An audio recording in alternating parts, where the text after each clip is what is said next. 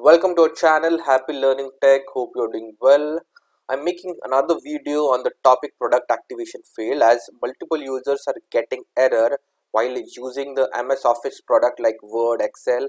On the top they get error as product activation fail or sometimes they get unlicensed product in red. So I have make a video on it uh, but my users commented that they are unable to see the OSPPD ARM application to run so first of all you had to go to file explorer. Go to then local disk C. You can find two program program files and program file into ET6 so there are two ways to go.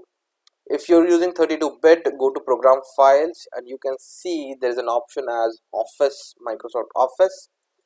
Go click on that then go to Office 16 this will work for Office 16 Office 10 office 19 as well.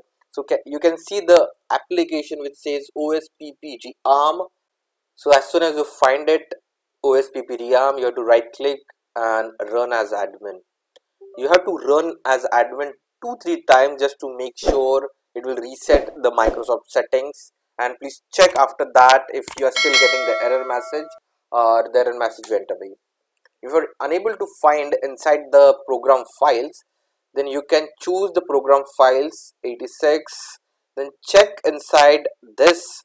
If you are able to see Microsoft Office and my, inside the Microsoft Office check if you are able to see that OSPPREARM program.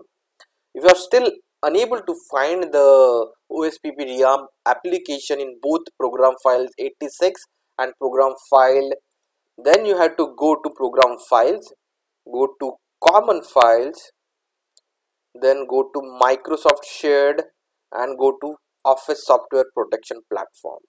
For me it's showing empty because I, I, I was able to find it under the program files and Microsoft Office. If you are unable to find there, please check inside Office Software Protection Platform, it will be there. And then do the same, right click, run as admin 2-3 times so as soon as you find the OSPPREARM program anywhere inside the common files, Microsoft Shared, Office Software Protection Platform or inside product program file, Microsoft Office. As soon as you find it, right click, run as admin 2-3 times to reset the Microsoft settings and you will not see any error then. If you still see the error, there is a, another workaround. Click on Word or Excel, run as admin